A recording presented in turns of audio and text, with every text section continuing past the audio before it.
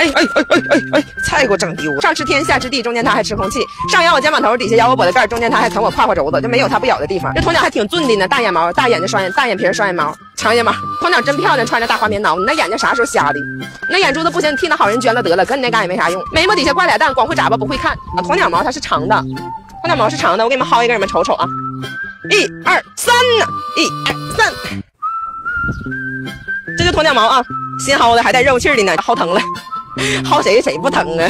薅谁谁都疼啊！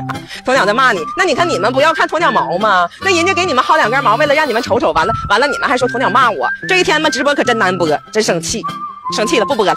主播说话不好听，不好听你别听，不好听你给耳朵捂上，好像求你听了似的，不好听你出去。一天净事儿，主播会下蛋吗？我要现场我给你下个蛋出来，我还得给你吓死呢，我得给你吓得口吐白沫啊，给你吓得浑身直抽抽，给你吓成隔壁吴老二。买鸵鸟带主播，不光带主播，把我老公、我老婆婆、我们家孩子、我老公都给你带着，买一个给你送一堆，上哪找这好事去？给我们家买东西你就合适，老铁就是实在啊。